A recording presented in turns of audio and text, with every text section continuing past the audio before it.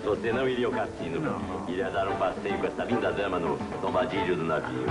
Félix, uma ameaça aos planos de Maria e Tomás. Argentinos, né?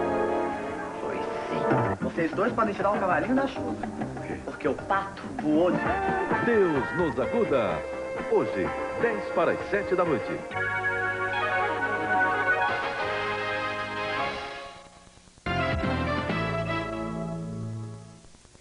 Aposentados por invalidez de Ribeirão Preto reclamam das filas para fazer a perícia médica no INSS.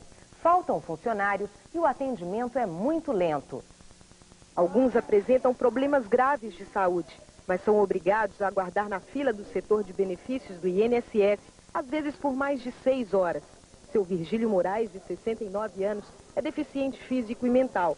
Na fila desde as sete da manhã, ele sentia dor nas pernas.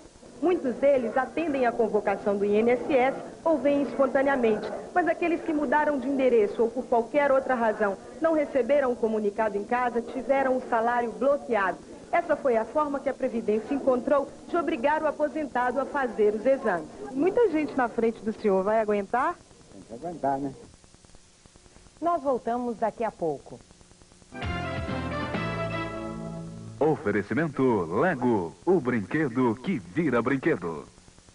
Jennifer Grey Rob Lowe em Vivendo um Conto de Fadas.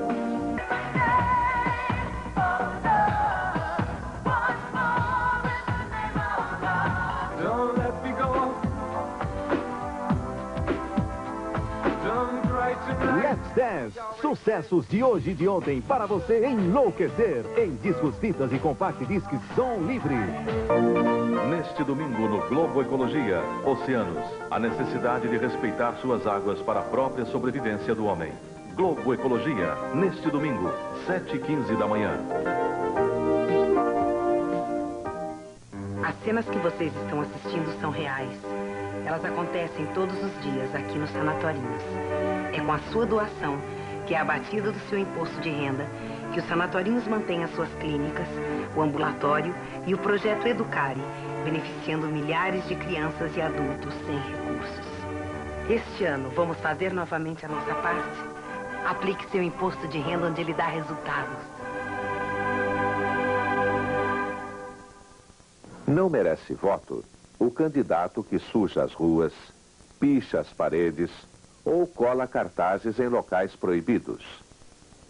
Abusar do poder econômico ou usar máquina administrativa em busca de voto é crime eleitoral. É preciso mudar o país. Não jogue sujo. Democracia se faz com limpeza.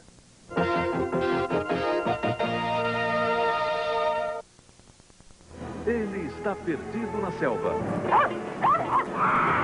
Um cachorro muito esperto enfrentando homens e feras. Tende, o perseguido. Temperatura máxima neste domingo, duas da tarde.